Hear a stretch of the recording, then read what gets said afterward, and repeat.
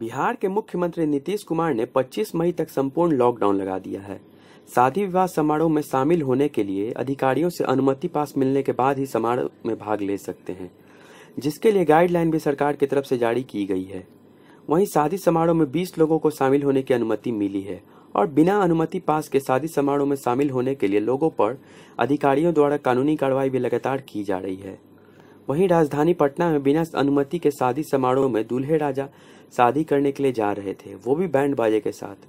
वहीं शादी होने के बाद वो लोग जब वापस अपने घर के लिए लौट रहे थे तो रास्ते में बाईपास फोर लाइन के पास ट्रैफ़िक पुलिस ने वाहन जाँच चेकिंग के दौरान पकड़ लिया, जहाँ दूल्हे राजा बिना अनुमति पास के शादी करके दुल्हन को अपने साथ लेकर लौट रहे थे और जाली पास लेकर वो पुलिस को दिखा रहे थे। तो पुलिस अधिकारियों ने जब उनसे फाइन वसूला तो वो पहले तो नहीं देना चाहा उन्होंने। फिर बाद में काफ़ी समझाने के बाद वो फाइन देने के लिए तैयार हुए तो उनसे दो हज़ार रुपया फाइन वसूला गया। तो दूल्हे राजा संजय कुमार ने बताया कि लॉकडाउन में शादी करना बहुत महँगा पड़ रहा है। तीन दिन से बिना पास के इधर उधर घूम रहे हैं और कई जगह पुलिस को पैसा देना पड़ा है।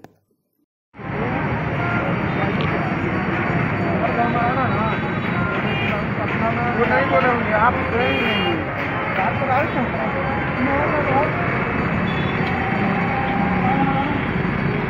देखिए क्यों नहीं परमिशन मिला है? दानापुर थाना में गए। कि सर हमको शादी है, पास बनाना है। तो ऐसा ऐसा कागज़ लिख के दिए तो हम भी लिख के दिए तो बोले इसको फ़ोटो कॉपी करा लो। एक अपने पास रख लिए हम रख लिए। बोले कि सर, मोहर नहीं है और साइन भी नहीं है। तो ये कोई दिक्कत नहीं है, मास्क लगाने रहना, कोई दिक्कत नहीं है। दिक्कत होगा तो फ़ोन करना। तो कि नियम क्या है? अनुमति कहाँ से अनुमति लेने के लिए कहा गया? है ब्लॉक से।